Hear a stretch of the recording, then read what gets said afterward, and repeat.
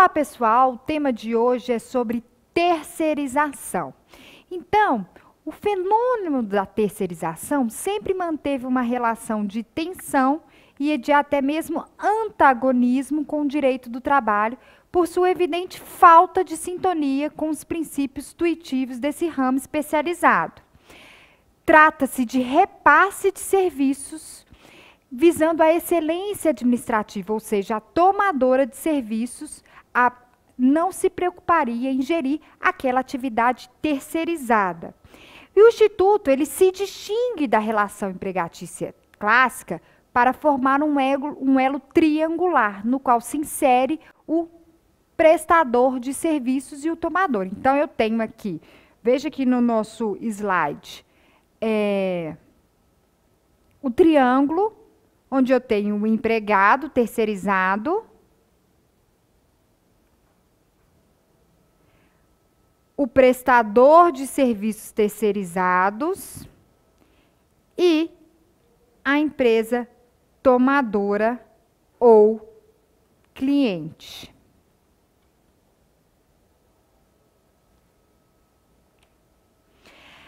As leizinhas marcadas de vermelho para inserção na nossa lista de leis, Lei 6.019-74, assim como o Decreto 10.854 de 2021, especificamente os artigos 39 e 40.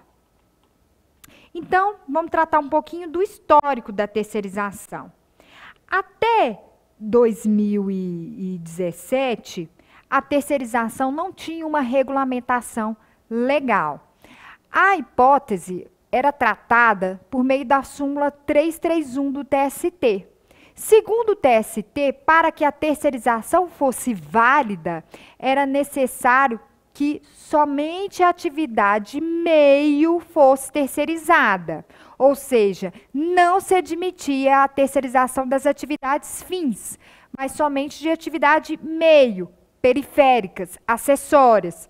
Então vamos imaginar numa padaria, por exemplo, era possível terceirizar a atividade de vigilância ou a atividade de limpeza, mas a sua atividade principal, ou seja, o padeiro, segundo o TST na súmula 331, não era possível terceirizar. Além disso, exigia o TST que a subordinação fosse exclusivamente com a empresa prestadora de serviços terceirizados e não com a tomadora. No nosso triângulo da terceirização, o trabalhador ele é empregado da empresa prestadora de serviços terceirizados. Por sua vez, uma terceira empresa, uma segunda empresa, empresa tomadora, ela contrata a empresa prestadora de serviços terceirizados para a prestação de um serviço que ela sim vai entender por terceirizar, ok? Então, até 2017, a terceirização ela é regulamentada ali pela súmula 331 do TST. Em 2017, especificamente em 31 de março de 2017, a Lei 13.429 de 2017, ela alterou a Lei 6.019 de 74, essa 6.019,74, ori originalmente, ela é prevista para o trabalho temporário. Mas essa alteração efetivada pela 13.429 de 2017 passou a incluir aí a prestação dos serviços terceirizados. Só que essa 13.429, que alterou a 6.019, o fez de modo muito superficial. E isso acabou aumentando a celeuma na doutrina e na jurisprudência. Por quê? Não deixou claro se era possível terceirizar somente as atividades periféricas, acessórias ou as atividades MEI, tal como previsto na súmula 331, ou se admitia a terceirização de atividade fim. Então, diante da celeuma, da controvérsia que passou a existir, ou seja, na verdade não passou a existir, essa controvérsia já existia e ela foi ainda acentuada pela 13.429, foi que a reforma trabalhista, Lei 13.467, alterou novamente a 6.019 para prever expressamente a possibilidade de terceirização de quaisquer atividades, sejam elas fins ou acessórias. Não se distingue mais para fins de terceirização em atividade meio periférica ou atividade fim, porque a 6019 agora prevê expressamente a possibilidade de terceirização de quaisquer atividades da empresa tomadora ou cliente, incluindo aí a sua atividade fim. Então, no nosso exemplo da padaria, agora é possível terceirizar inclusive a atividade de padeiro, que está incluída aí na atividade fim daquela padaria. OK?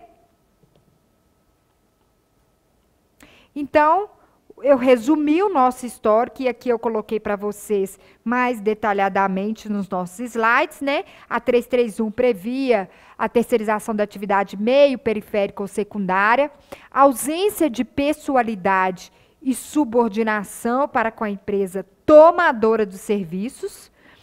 Inicialmente, a 13.429 alterou a 6.019. Gente, sobre essa alteração da 6.019, a 6.019, quando você for fazer a leitura dela na sua casa, tem que fazer com os olhos bem abertos, porque ora ela fala do temporário, ora ela fala do terceirizado. Se você não prestar atenção, dá para confundir os dois, ok? Então a leitura tem que ser com bastante atenção.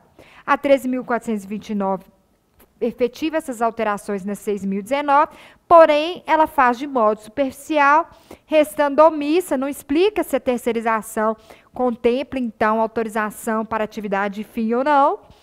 Foi que a reforma trabalhista, lei 13467, acaba com a controvérsia e prevê a possibilidade de terceirização de quaisquer atividades, inclusive atividades principais. Artigo 4 da Lei 6019.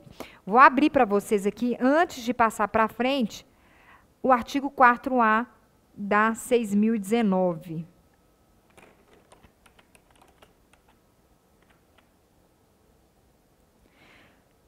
Considera-se a prestação de serviço a terceiros a transferência feita pela contratante da execução de quaisquer de suas atividades. Veja, a transferência feita pela contratante da execução de quaisquer de suas atividades, inclusive sua atividade principal. Não deixa dúvidas. A pessoa jurídica de direito privado, prestadora de serviços que possua capacidade econômica compatível com a sua execução. A observação de suma importância aqui é que o STF, no julgamento da DPF 324, recurso extraordinário 958252, por maioria de sete votos a quatro, e isso foi em 30 do 8 de 2018, uma decisão dotada de efeito vinculante decidiu o STF que é possível a terceirização em todas as etapas do processo produtivo, inclusive em atividade fim, destacando-se a ausência de pessoalidade e subordinação, ou seja, a tomadora contrata os serviços e não a pessoa. Quando ela contrata a empresa prestadora de serviços terceirizados, ela está contratando aquele serviço específico que ela está terceirizando e não o empregado fulano ou ciclano que vai prestar o serviço terceirizados. A ausência de pessoalidade, também a ausência de subordinação desse trabalhador terceirizado em relação à empresa tomadora ou cliente. Veja a tese de repercussão geral que decorreu desse julgamento do STF. Lembrando que a decisão é dotada de efeito vinculante. É lista terceirização ou qualquer outra forma de divisão do trabalho entre pessoas jurídicas distintas, independente do objeto social das empresas envolvidas, mantida a responsabilidade subsidiária da empresa contratante. Então, qual que é o conceito de terceirização? E eu trouxe para vocês um conceito de Volha. Volha Bonfim, uma doutrinadora famosa da nossa área. Terceirização é a relação trilateral formada entre trabalhador, intermediador de mão de obra e o tomador de serviço, aquele triângulo que eu mencionei para vocês, caracterizada pela não coincidência do empregador real com o empregador formal. Por que, que eu fiz questão de trazer esse conceito? Veja, a empresa de serviços terceirizados é ela a empregadora real daquele trabalhador que presta serviços terceirizados. Então, lá no nosso exemplo da padaria, o padeiro João, ele é empregado da empresa prestadora de serviços terceirizados. Ele não é empregado da padaria. A padaria, ela é chamada de tomadora. É ela quem contrata o serviço terceirizado. Ela não contrata João, ela contrata o serviço de fabricação de pães. Então, pouco importa se a empresa prestadora de serviço vai mandar para é, fabricar o pão naquele dia João ou Maria não há a pessoalidade desse trabalhador em relação à empresa tomadora, ok? Quais são os requisitos do contrato de prestação de serviços terceirizados? Uh, a previsão é do artigo 5b da 6.019. É, por todo o tempo aqui, quando nós vamos tratar da terceirização, tem vários detalhes, minúcias que estão na lei, que eu sugiro que você faça o fichamento para leitura dia antes da prova, ok? Que se cair, você vai lembrar com facilidade.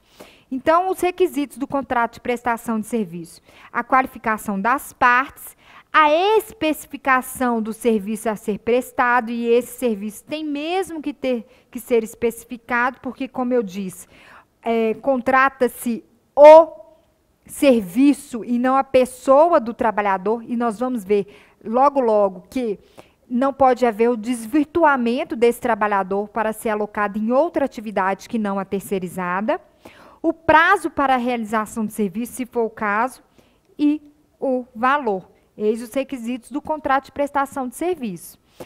A empresa de trabalho terceirizado também chamada de prestadora de serviço, é ela quem vai contratar, remunerar e dirigir o trabalho realizado por seus trabalhadores. É ela em que é a empregadora. Necessariamente, ela tem que ser uma pessoa jurídica de direito privado e ela deve ter capacidade econômica compatível com a execução de serviços, ser inscrita no CNTJ e registro na junta comercial. O capital social dela deve ser compatível com o número de empregados. O que, que o legislador pretendeu aqui?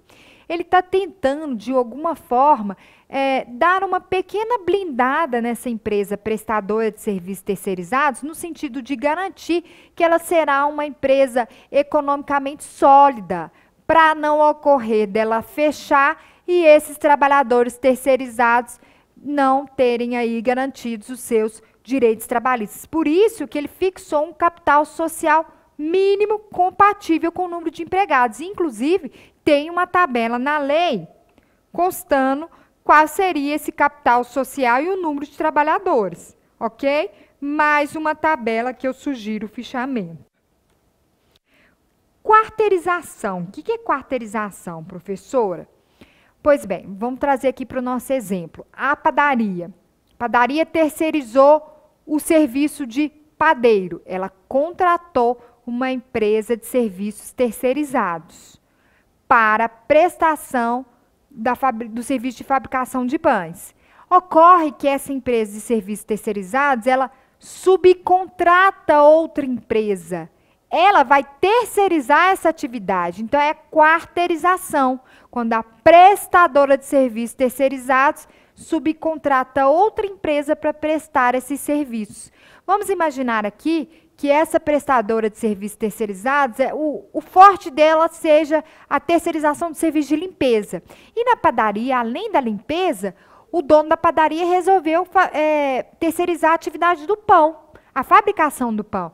Então, essa empresa, como não é o nicho dela, ela resolve terceirizar somente a parte da terceirização da fabricação de pães para outra empresa prestadora de serviços terceirizados. E a lei ela prevê essa hipótese chamada de quarteirização, ou seja, subcontratação de outras empresas. A previsão do artigo 4A, parágrafo 1 A empresa prestadora de serviço contrata, remunera e dirige o trabalho realizado por seus trabalhadores ou subcontrata outras empresas para a realização desse serviço. E o tomador, gente, que é o contratante? No nosso exemplo, quem é? É a padaria, que contrata a empresa de serviços terceirizados. É, nesse caso, o tomador ele pode ser tanto pessoa física ou jurídica. Vocês viram que a empresa prestadora de serviços terceirizados ou contratada, ela só pode ser pessoa jurídica. No nosso caso do tomador, não. Pode ser tanto pessoa física quanto pessoa jurídica. E ele vai celebrar um contrato com a empresa de prestação de serviços, ou seja, com a contratada. Ou com a empregadora daquele trabalhador terceirizado. Os serviços são relacionados a quaisquer de suas atividades, como nós vimos na lei, na alteração, artigo 4 da Lei 6.019 e no julgamento da DPF 324, em 30 de 8 de 2018, em que o STF, por maioria de sete votos a quatro, decidiu, é, cuja decisão foi dotada de efeito vinculante a possibilidade de terceirização de todas as etapas do processo produtivo, ou seja, inclusive na atividade principal. Agora, e o trabalhador? Quem é? Esse trabalhador, ele não pode ser utilizado em atividades distintas daquelas que foram objeto do contrato com a empresa prestadora de serviço. Lembra que na, no contrato não tinha que especificar quais seriam as atividades? Pois bem, esse trabalhador ele não pode ser alocado em atividades distintas. Se ele foi contratado para prestação de serviço de fabricação de pães, ali ele deve trabalhar na fabricação de pães. Ele não pode ser alocado para trabalhar no caixa, por exemplo. E o local de prestação de serviço? Segundo a 6.019, artigo 5º-A, parágrafo 2 pode ser tanto nas instalações físicas da empresa contratante ou em outro local, de comum acordo entre as partes. Sobre o vínculo, gente, nós vimos que o, o vínculo de emprego desse trabalhador de serviços, prestador de serviços terceirizados, ele se dá com a empresa prestadora de serviços terceirizados, ou seja, a contratada, e não com a tomadora. A A6019 prevê expressamente que não se configura vínculo empregatício entre os trabalhadores ou sócio das empresas prestadoras de serviço, qualquer que seja o seu ramo, e a empresa contratante. Ou seja, uh, o vínculo não se faz também com sócios dessas empresas. Nesse caso, a verificação do vínculo será efetivada contra a empresa prestadora de serviço, porque ela é a, contra, a, a empregadora, e não em relação à empresa contratante ou tomadora. Exceto, gente, exceto se eu estiver analisando a possibilidade de responsabilidade subsidiária dessa empresa tomadora. Porque quem detém a responsabilidade principal? A responsabilidade principal pelo adimplemento das obrigações trabalhistas é da empresa prestadora de serviços terceirizados. Mas a tomadora ela sim pode responder de forma subsidiária, ou seja, se a prestadora de serviços terceirizados não pagar, a tomadora pode uh, ser acionada para poder adimplir os haveres trabalhistas.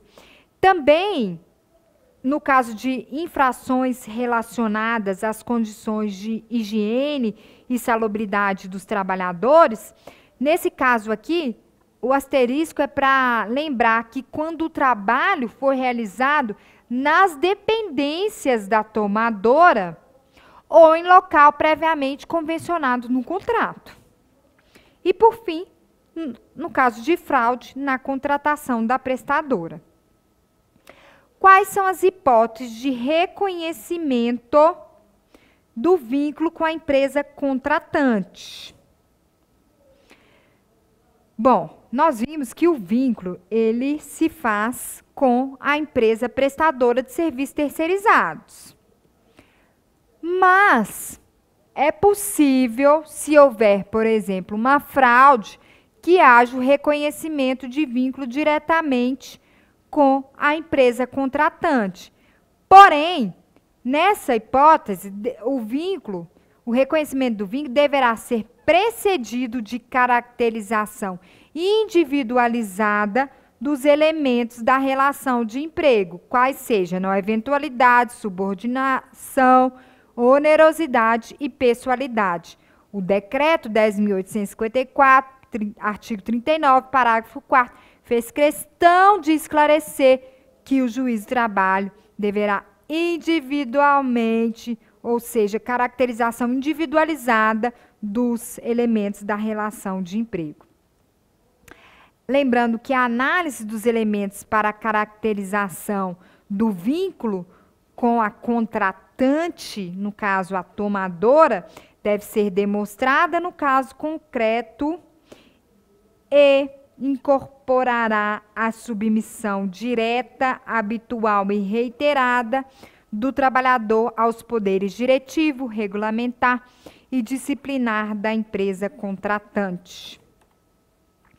A mera identificação do trabalhador na cadeia produtiva da contratante, ou uso de ferramentas de trabalho, ou dos métodos organizacionais e operacionais estabelecidos pela contratante, não implica a existência do vínculo com ela, ou seja, não é o fato do trabalhador estar prestando serviço na atividade fim, dentro das dependências da tomadora, usando as ferramentas de trabalho por ela disponibilizadas. Ali dentro daquela cadeia produtiva, não quer dizer que o vínculo deve ser reconhecido com a empresa tomadora de serviços. A lei é clara nesse sentido.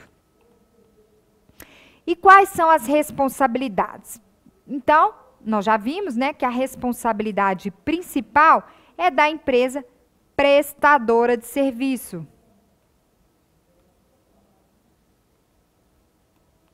prestadora de serviços terceirizados. Agora, a contratante, ela será responsável subsidiária pelas obrigações trabalhistas referente ao período de prestação de serviços em face dela assim como pelo recolhimento das contribuições previdenciárias. Então, João, que presta serviço lá naquela padaria, se ele prestou serviços por seis meses apenas para aquela padaria e outro um ano para outra padaria, a nossa padaria do exemplo vai responder apenas subsidiariamente apenas pelo esse período de seis meses, ok? as responsabilidades sobre condições de segurança, higiene e salubridade do trabalhador, ou seja, normas é, SST, saúde e segurança do trabalhador, é, essa responsabilidade será da contratante garantir as condições de saúde, higiene e segurança quando o trabalho for realizado nas suas dependências, contratante, quando o trabalho for realizado nas suas dependências ou em local previamente por ela ajustado, ok? A, a responsabilidade, observação do artigo 40. A responsabilidade subsidiária pelas obrigações trabalhistas não implica qualquer tipo de desconsideração da cadeia produtiva quanto ao vínculo empregatício entre empregado e empresa prestadora de serviço e a contratante. Ou seja, não é porque ela é responsável subsidiária, a empresa tomadora ou contratante, é que isso importa a desconsideração da cadeia produtiva. Ou seja, o vínculo se mantém com a empresa prestadora de serviços terceirizados. A remuneração, gente, contratante e contratada poderão estabelecer, se assim entenderem, que os empregados da contratada farão jus a salário equivalente aos pagos pelos empregados da contratante, além de outros direitos. Salário equivalente, se assim entenderem.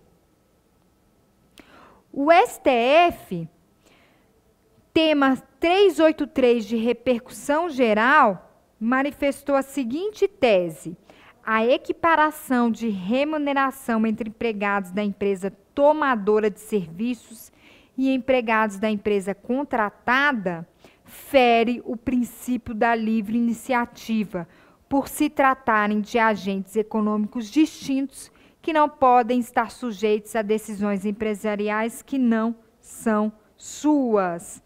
Nesse sentido, a tese do STF no tema 383, vedando a equiparação da remuneração entre empregados da empresa tomadora, ou seja, no nosso exemplo lá, entre empregados da padaria e empregados da empresa prestadora de serviços terceirizados, está em desacordo com o que dispõe ao J383 da SDI 1 do TST. Essa OJ ela no sentido de que a contratação irregular de trabalhador mediante empresa interposta não gera vínculo com ente da administração pública, não afastando, contudo, pelo princípio da isonomia, os mesmos direitos dos empregados contratados pelo tomador. Ou seja, ela garante pela isonomia os mesmos direitos. Contudo, entendemos que a SOJ faça essa decisão do STF, ela poderá ser alterada aí pelo TST para se adequar à decisão, ok? Vamos aguardar cenas dos próximos capítulos. Condições de trabalho. Artigo 4C da Lei 6.019. É, aqui, basicamente, o legislador ele tenta garantir condições de trabalho mínima aos empregados terceirizados e que sejam semelhantes ao que já é oferecido pelos demais empregados da empresa tomadora. Então, ela prevê o direito de utilizar serviços de transporte, é, prevê o direito de utilizar os refeitórios, atendimento médico e ambulatorial existente nas dependências dela, mesmas condições sanitárias e por aí vai mais um artigo que eu sugiro o seu fichamento. Lembrando que o parágrafo segundo, ele fala que essas, essas, os serviços de alimentação e atendimento ambulatorial, eles poderão ser uh, oferecidos em outro local, mas mantendo o mesmo padrão de atendimento se o contrato feito entre prestadora de serviços terceirizados e tomadora implicar mobilização de empregados da contratada em número igual ou superior a 20% dos empregados da contratante. Isso por quê? Porque o refeitório, por exemplo, pode não comportar todo mundo. Então, pode oferecer outro refeitório, mas tem que manter igual padrão de atendimento sobre a quarentena, é, o que, que é essa quarentena? Esses períodos de quarentena, eles objetivam assegurar que os empregados da tomadora não fossem dispensados para é, que haja uma alocação na empresa de prestadora de serviços terceirizados. Então, veja bem, tem um empregado permanente lá na padaria. Qual que é o intuito da quarentena? Tentar vedar que esse empregado permanente da padaria seja dispensado contratado pela empresa prestadora de serviços terceirizados e continue e que ele continue prestando serviço para a mesma padaria. Ou seja, ele é dispensado da padaria diretamente, ele era empregado da padaria, mas ele é contratado pela empresa de trabalho terceirizado e volta a prestar serviço na padaria. É esse o objetivo da quarentena. Então, é, o empregado permanente tra ou trabalhador sem vínculo, ele não pode ser sócio da empresa prestadora de serviços terceirizados pelo período de 18 meses. Exceção se esse sócio já tivesse aposentado. Ô, gente, a observação que eu coloquei é sócio da empresa prestadora de serviços a terceiros que não seu antigo empregador, ele pode. O que ele não pode fazer é ser sócio da empresa prestadora de serviço e prestar serviço no seu antigo empregador. Agora, se ele sai de lá, vira sócio da empresa prestadora de serviço, aproveita o seu know-how e vai prestar serviço para outra empresa, ok. O que não pode ele trabalhar prestando serviço para o mesmo, para o seu antigo empregador, ok? E a quarentena do empregado.